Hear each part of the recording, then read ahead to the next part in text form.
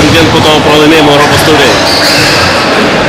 Buvo šiek tiek sunku, dėl to, kad buvo vakarykštė treniruotė labai intensyvi, pažiūrėjom video, spre, bandėm spręsti savo problemas, kurias, kurios paaiškėjo bežiūrint video. A, treneris iškėlė tam tikrus uždavinius šiandien varžybose, kuriuos turėjom įvykdyti ir taip ruoštis tolimesnėjame Eurokopo kovom. Na, pirmam kilniui šiek tiek buksavo. Ne, gal nebuvo nusteikusios, ar tiesiog pradžia sunki buvo?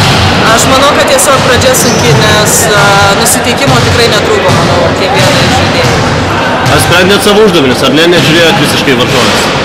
E, Jeigu atvirai Utenos tikrai ne, neanalizavom, tiesiog sprendėm savo uždavinius, žinojom, kokias klaidas darom, kur reikia pasistengti, ką reikia taisyti ir tai stengiamės daryti dėl to, kad šis varžovas mums leido pasikartoti, ištais tas klaidas, kokias reikėtų taisyti, tas, tas pačiai asmeniškai buvo sėkmingos rungtynės. Parankus varžovas, ar tiesiog na, nebuvo ta gynyba labai aktyvi? Tikriausiai susidėjo viskas, tiek e, iš mano pusės nusiteikimas, psichologinis noras tiesiog atsistatyti po nepasisekusios, nepasisekusios praėjusios kovos. Ir varžovas galbūt leido žaisti taip, kaip galėjo. Ar tokia pergalė šiek tiek pakelia tą, na, tą nuotaiką po, po, po skaudaus pralaimėjimo Europos taurėje? Negalima lyginti tikriausiai šitų dviejų lygų pagal, pagal sudėtingumą, pagal varžovės, jų, jų gabumus.